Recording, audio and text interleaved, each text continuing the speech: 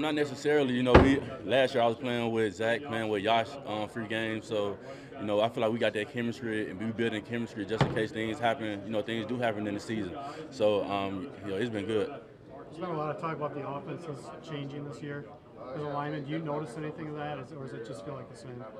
Um, I feel like it, it feel the same. You know, um, obviously we're an outside zone team. You know, we, we, like to get the ball on the edges and things like that. So we've been basically running the same plays that we usually run. So I wouldn't say anything changed uh, significantly.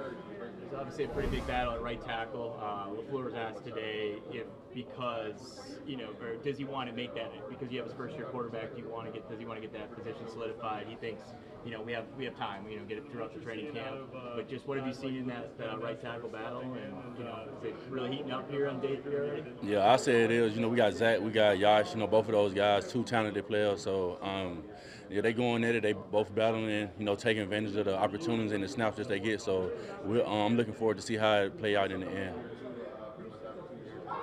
How important is cross training? Coach was telling us about that with the offensive line. He wants you guys to get familiar in multiple spots. Just how beneficial is that for you as a player and for the, the line as a whole? Yeah, just like I said, um, the season. I mean, during the season, it's a long season, so you never know who you're gonna go out there with um, every Sunday. So just having guys being able to play different positions um, on the offensive line, you know, it's beneficial for the team going forward.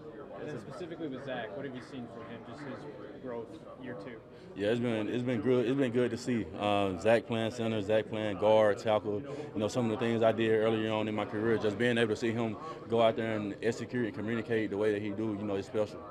Do you like the 50% practices like this?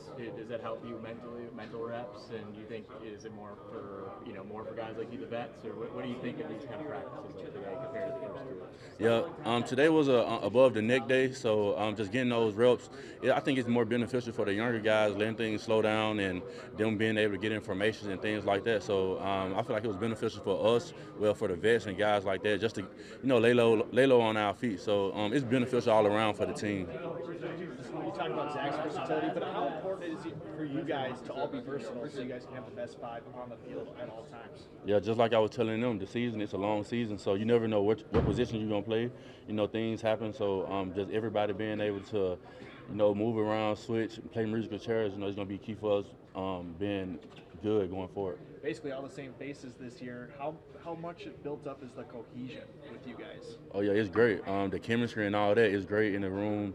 You know, just being able to have fun, just being able to go out there and just communicate and just play on a different level than we was last year with you know guys just moving into spots and things like that.